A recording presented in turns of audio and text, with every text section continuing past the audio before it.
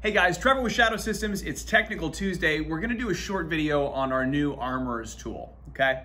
So we did a couple things that are a little different, a little weird here. Um, we'll roll some pictures in so that you can see it better, but there's kind of two things we wanted to do differently on the Armorers tool. Um, one is, one of the biggest pains working on these guns is centering the pins because every pin really should be centered when you're done doing whatever you're doing. And a lot of times you can kind of be like chasing the pin back and forth, trying to get it right. So we decided for the MR and DR size frames, um, there's a kind of a standard distance between the grip panel and where the pin would be when it's centered. I'm talking about the trigger mech housing pin. So if that pin is not centered, like it is right there, all you gotta do is take that little volcano, that little uh, raised section right there on the side of the uh, tool and just push it against the grip and it instantly centers the pin. It's a little thing, but it does make it a little easier to get your pin centered right away.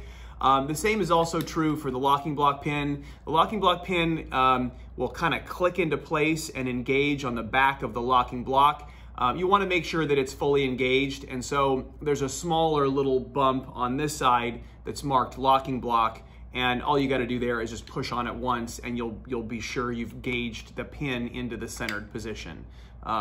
Okay, so that's that's what the tool does um, for your pins, which is cool. We also put a hole in the back of it actually that's the size of the locking block pin. The locking block pin is the one that usually takes the most kind of force to get going. So you can just put the pin in the back of the tool and push it and you just get a little more leverage and a little more control to get the pin started, okay? All right, so then the other thing we did is um, we made the, the, uh, the, the shaft of the tool quite a bit longer. Um, and we did that because it allows you to uh, manipulate and work on the optic system slides much easier um, than if you didn't have a longer tool like this. By the way, our pin is a stainless steel pin. It is hardened and it's got a nice little chamfer at the end so you're not gonna scar up your tool or scar up your frame as you work on it and uh, it's, you know, it won't bend. So, um, okay, so I'm just gonna show that. So here's an optic slide. Um, I'm gonna disassemble the tensioning pin out of the back really quick using the backstrap disassembly tool, which is comes with the gun and is the correct tool. There's a hole on the bottom of the slide. You just stick the tool in there like this and you push out the pin. Okay, so there goes the pin.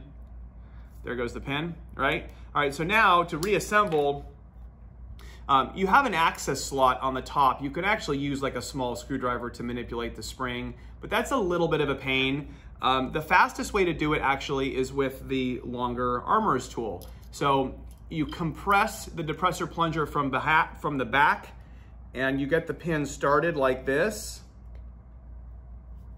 So now the pin is part way in and then you stick that tool in a second time and just straighten out the pin as you push it into place and the pin is installed, okay? So it just makes that step quite a bit faster and easier because you can actually reach back in there and hit it. If you have a regular uh, tool in this kind of style, then you won't ever get far enough into the slide. Okay, so that is the Shadow Systems Armor tool. Um, they're in production now. We're gonna have some on the website basically right away, but um, you'll see more and more of these available very shortly. Um, we're doing a gray color right now. We may end up doing a black one too at some point, but the gray kind of is a, a little different take on color. So all right, if you want to work on your gun, this is the way to do it, and uh, we'll see you next week.